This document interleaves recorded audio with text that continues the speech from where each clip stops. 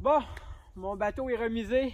Ça me fait toujours un petit quelque chose de remiser mon bateau. Je sais pas si vous êtes comme moi, mais ça veut dire ça, une grosse période de deux mois en attendant la glace pour la pêche blanche.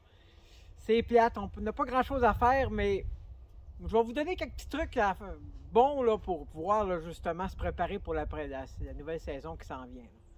Donc, moi je vous dirais là, euh, commencez par serrer votre stock de pêche de l'été. Parce qu'avec l'eau froide dans laquelle on s'en va pêcher, hein, on sait qu'on n'aura pas les mêmes équipements.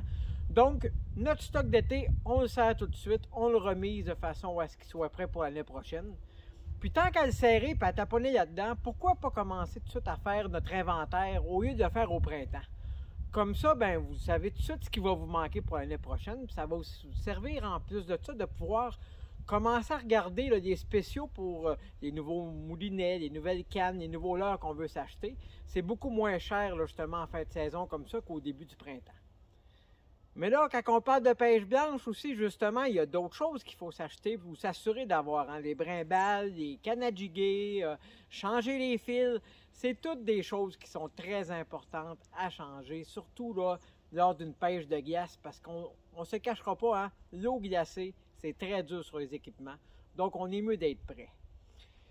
Avec euh, la pandémie on est encore en plein dedans, hein, on n'a pas le choix de ne pas en parler.